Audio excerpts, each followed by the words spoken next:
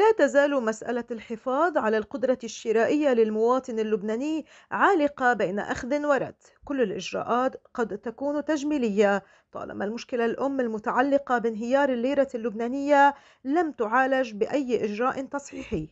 سلسلة لقاءات عقدت للنظر بالرواتب والأجور للعاملين في القطاع الخاص. يطلع صوت بيروت انترناشونال عليها وبيروت سيتي. عضو لجنة المؤشر الدكتور أنيس أبو دياب إذا عندما اجتمعت لجنة المؤشر للاجتماع الثاني في اجتماعنا الأول حطينا هدفين أمامنا.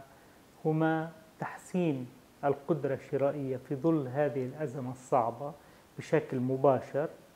والهدف الثاني العمل على غلاء المعيشة من خلال إعادة النظر بالحد الأدنى للأجور.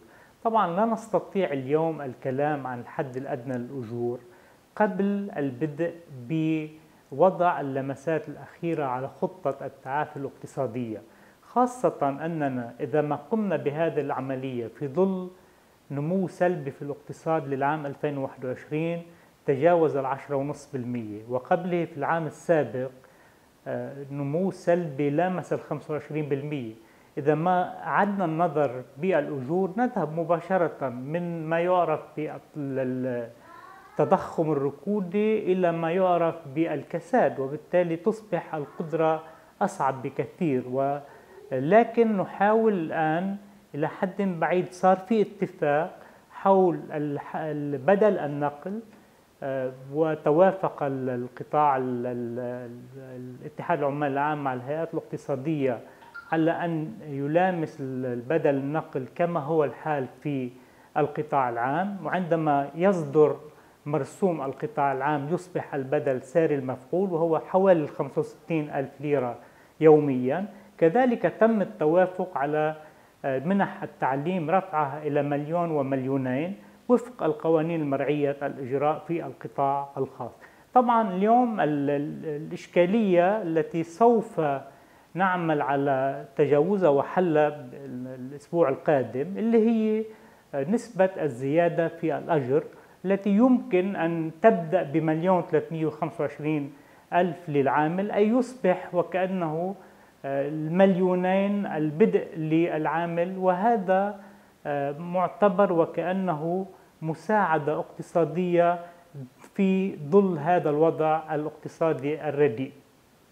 طبعا الهدف الأكبر هو أيضا نقاش يدور حول حماية نهاية الخدمة للعاملين في القطاع الخاص. وهنا حماية يعني ما يعرف بتقاعدهم لأنه كمان يتقاضى العامل نهاية الخدمة على سعر دولار 1005 هذا لا يجوز. نحاول إيجاد مخارج بما لا ترهق الهيئات الاقتصادية في ظل هذا الوضع الاقتصادي الصعب وبما لا يرهق أيضا الدولة وبما يؤدي إلى مساعدة العاملين في القطاع الخاص من خلال يعني زيادة هذه أو أو حماية نهاية الخدمة بضربة تقريبا بمؤشر 2.6 أو على دولار المنصة 3900 فعليا هذا الحوار والنقاش يدور بشكل هادئ داخل اللجنة. طبعا يترأس اللجان دائما آه، معالي وزير العمل. والحوار بناء ومشجع.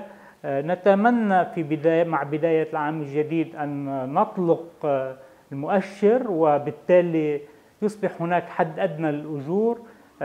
يتحسن من خلاله إيراد أيضا الصندوق الوطني للضمان الاجتماعي الذي يجب حمايته بغية حماية كافة العاملين في القطاع الخاص وأيضا في المؤسسات العامة.